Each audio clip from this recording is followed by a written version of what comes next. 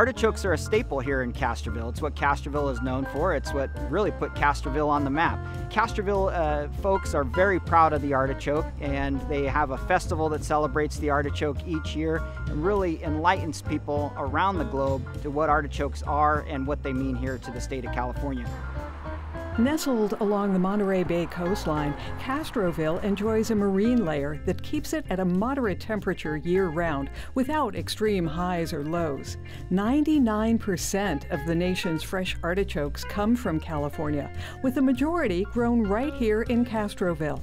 We're stewards of the land. We've been in business nearly 100 years growing in California, and we plan to continue that legacy. Chris Drew is the president and CEO of Ocean Mist Farms. It was founded in 1924 in Castroville by a group of family farmers. Among them was Alfred Totino, whose great grandson, Glenn Alameda, still works at the company today as director of operations. I'm fourth generation now, um, the last one working here on the day to day, but we have a lot of family supporting um, kind of on different roles. When I graduated college, my grandfather was still coming into work six days a week. He was 90 years old, and I couldn't pass up that opportunity uh, to come work with him every day. Artichokes are fun to eat. It's one of those vegetables that you can have on your plate and tell a story about. And that's really what we're driving home is that there isn't a misperception about artichokes. They're not difficult to eat. They actually are an entertainment piece and an adventure at the dinner time. If artichokes are an adventure to eat, they're an adventure to harvest, too.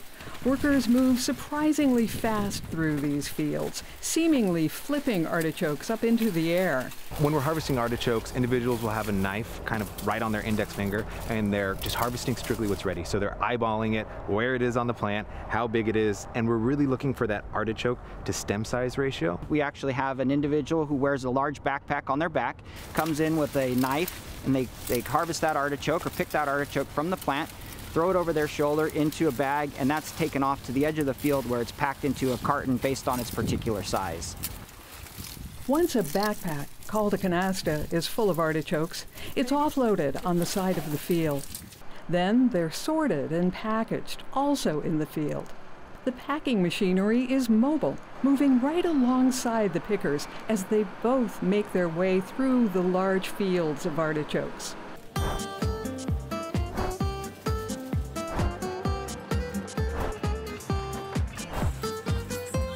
Ocean Mist says they have a four-hour cut-to-cool policy, meaning the artichokes cut in the fields are quickly transported to a cooling facility. That's where they'll be chilled to about 34 degrees. From there, the artichokes head out to grocers in the United States and abroad. The majority of the artichokes generally can be found in metropolitan areas, the larger cities. We do classify the Midwest as the artichoke desert. Uh, we're still looking at ways that we can uh, reach to those folks and convince them that artichokes are a great vegetable to consume for dinner. Artichokes may be a popular dish in California, and in fact were named the official state vegetable in 2013. But they still remain a mystery to many people outside the Golden State.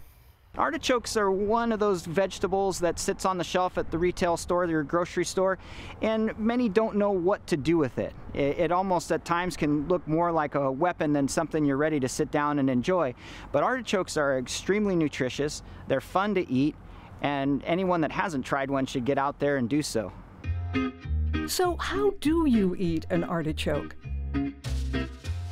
The most common way is to cut off the top and steam it until the leaves easily pull off, about 30 minutes or so. Then serve it with a dipping sauce like mayonnaise or melted butter. You can also grill artichokes or even bake them. Whatever your method, artichoke growers want you to know one thing it's easier than you think. I think it can be very intimidating to look at this thorny vegetable here that does not look very inviting until you cook it up, eat it, and realize it was worth the work and it really wasn't that much to begin with. Whether you were an artichoke aficionado or a newbie, growers ask one thing eat more of California's official vegetable. If you haven't had an artichoke yet or you're willing to try one, get out there and do so.